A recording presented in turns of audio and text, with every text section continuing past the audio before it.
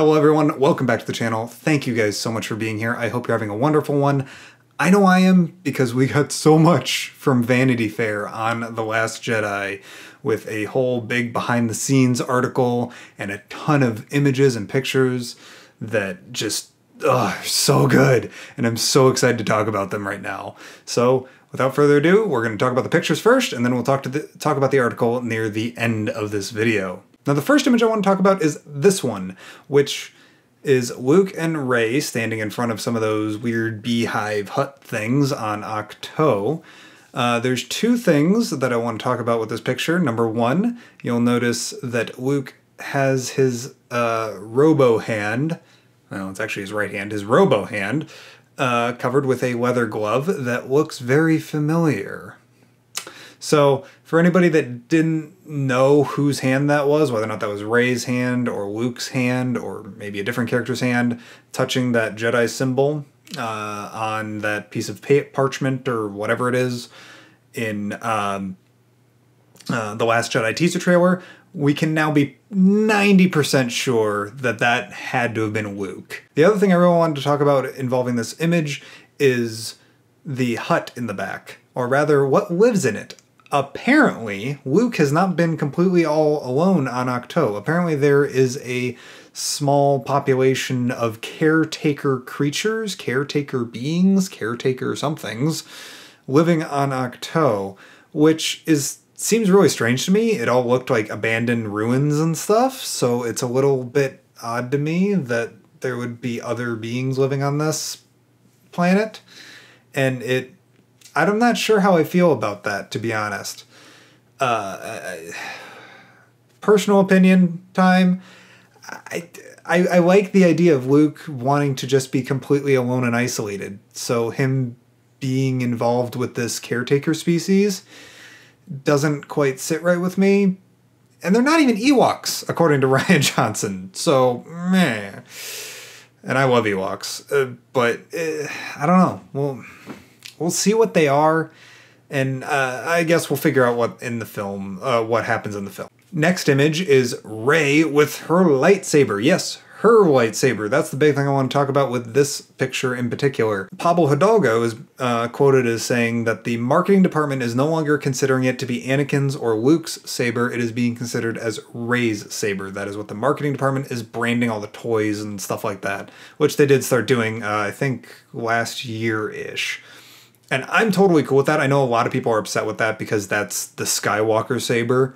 So unless Rey is a Skywalker, which she could be, uh, they don't want her to have it. But for me, I'm totally cool with that because it fills in the whole mythology thing.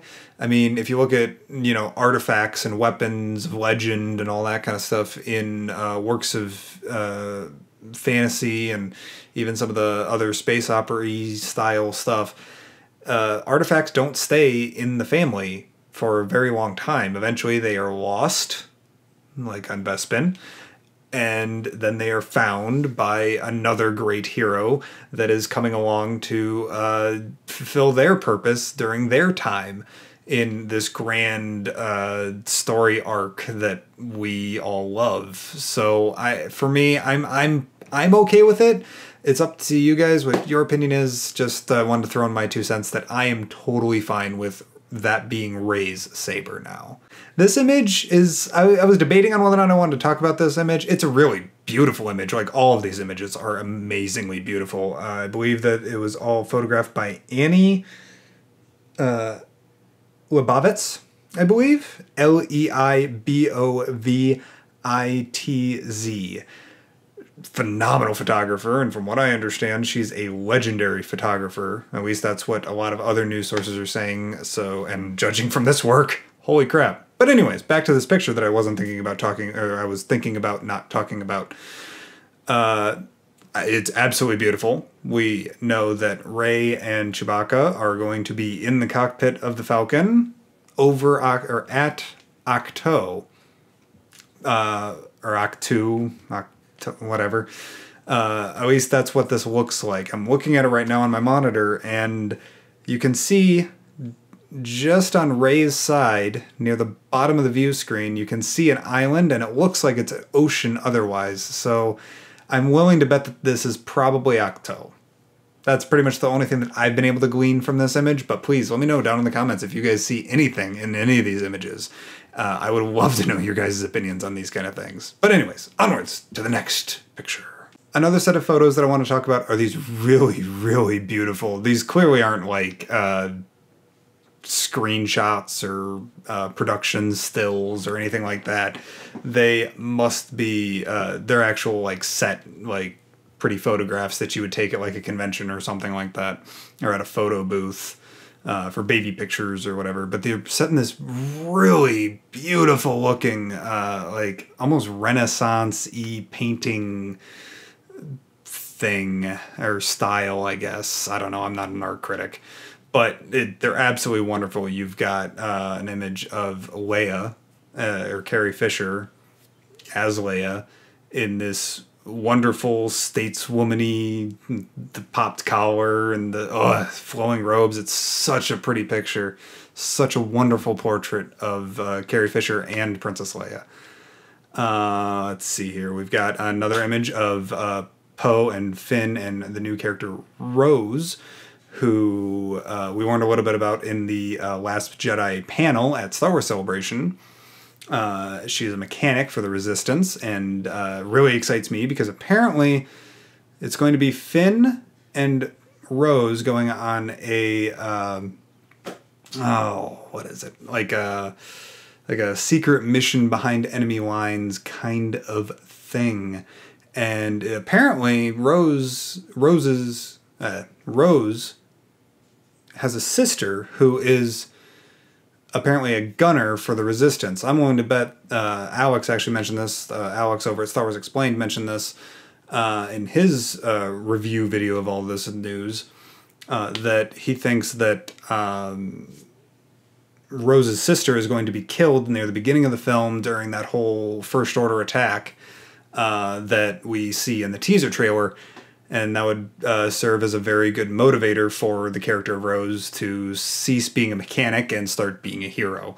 And I'm inclined to agree with him. The next set of images I want to talk about is the Canto Bight Casino images and all of the aliens within said images.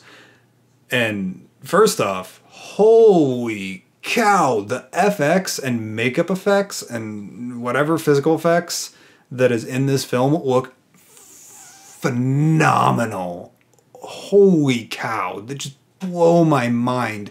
Like obviously the the the pictures have been color corrected and stuff, uh, digitally enhanced and all that. But like uh, if you look at uh, this week's Star Wars show, uh, they have actual like moving images and stuff, like actual film uh, during these photo shoots, and th- the costumes and the makeup look they look real. It's absolutely mind boggling how good the creature shop is over at Lucasfilm. It's mind boggling. Ugh, it's so good. Uh, I guess the other thing that I want to talk about real quick is uh, no, that's not a Bothan. Uh, Pablo Hidalgo did his. Um, he Pabloed. Changed his name on Twitter to no, that's not a Bothan, or it that's not a Bothan. Okay, it's not a Bothan. Fine. Which means that they must be using the Bothan somewhere else, right? Eh, maybe. I don't know. But anyways, next images. Now, two new characters. We finally have details on Laura Dern's and Benicio del Toro's characters. Uh, we know that Laura Dern is going to be playing uh, Vice Admiral Amilyn Holdo, a newcomer to the saga. Uh, apparently, she is a resistance vice admiral, not a first order or a former empire or a, a new republic vice admiral, but a resistance vice admiral, whatever that might mean. Now, judging from her dress and her fashion in this uh, image, I'm willing to bet that she's going to be at that casino that we were just talking about. So, is she a traitor? that Finn and Rose have to uh, bring to justice? Is she a uh, uh, is she needing extraction from a undercover op that she's working on? Of course, why would they send an vice admiral on an undercover op, but they also put generals in charge of space things. So eh, whatever, space combats.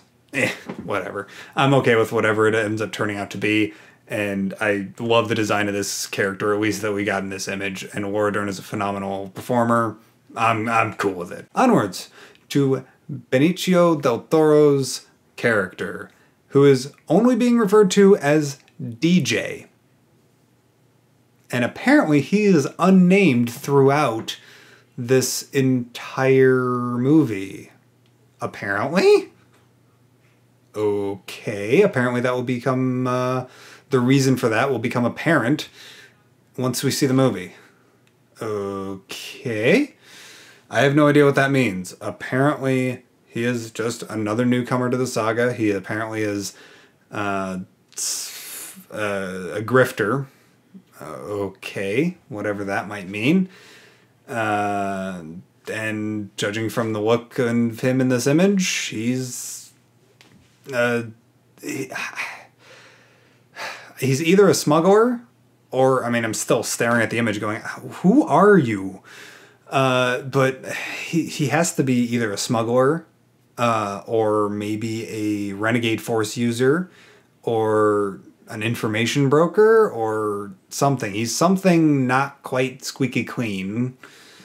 And Benicio del Toro plays those kind of characters wonderfully, so I'm totally okay with it. Also, this crushes my dreams of him playing Thrawn. Okay, fine, I suppose. Could be playing Eli Vanto, maybe. Maybe, I don't think so, but he could be. Uh, oh well. Maybe he's Ezra Bridger. he's got a scar in the same spot. Uh, if you're not following the uh, 1138 Twitter handle, uh, do it. The the that whoever runs that Twitter handle is one of the wittiest Star Wars fans ever. Go follow him.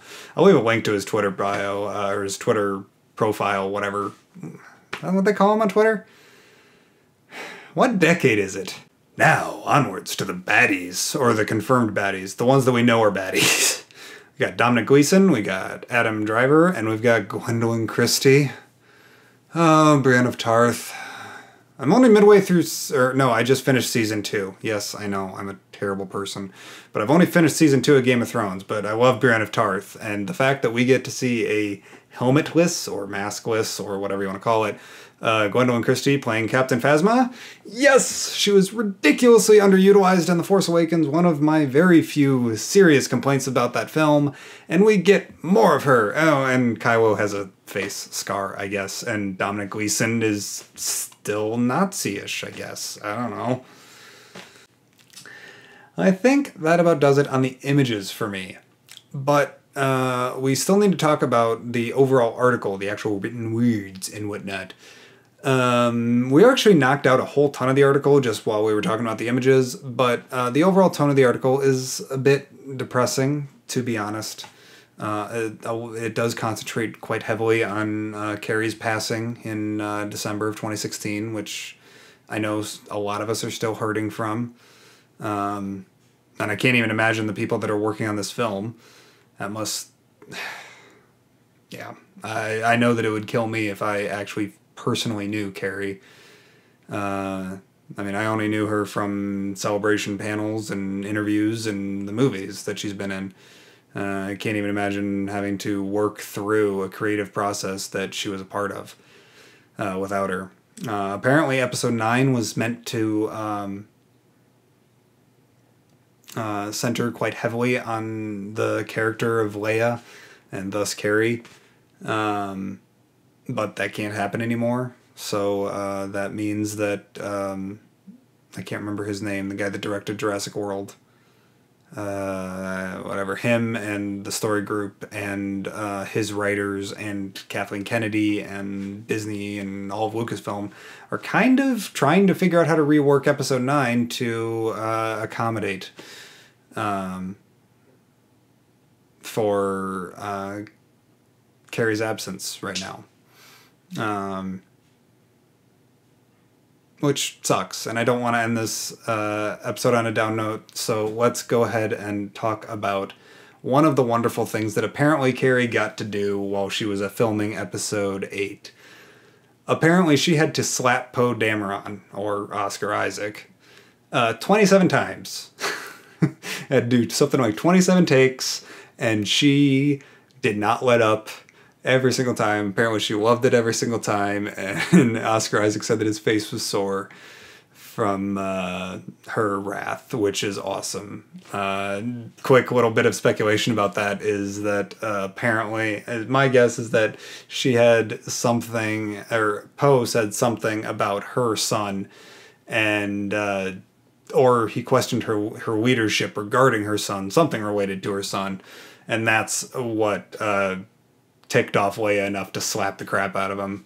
Sweet, I'll take it. Anyways, I think that's about it for all of this news, guys. It's only a few months away. Well, uh, six and a half months, something. What year is it? Yeah, it's uh, it's a whiles away. We're less than a year away from The Last Jedi, and I cannot be more excited. I know I'm going to get even more pumped up all throughout the the coming months, and I look forward to getting pumped up and hyped up with you guys. Uh, you guys can check me out over on Twitch, where we do uh, Star Wars games on Sunday nights, and I play whatever I kind of feel like playing on Wednesday mornings. You can hit me up over on Twitter, which I'll also have linked down in the description. And uh, make sure that you hit like and subscribe if you enjoyed this content and you want more of it. It helps me to understand that I'm doing things the right way. Thank you guys so much. And as always, may the Force be with you.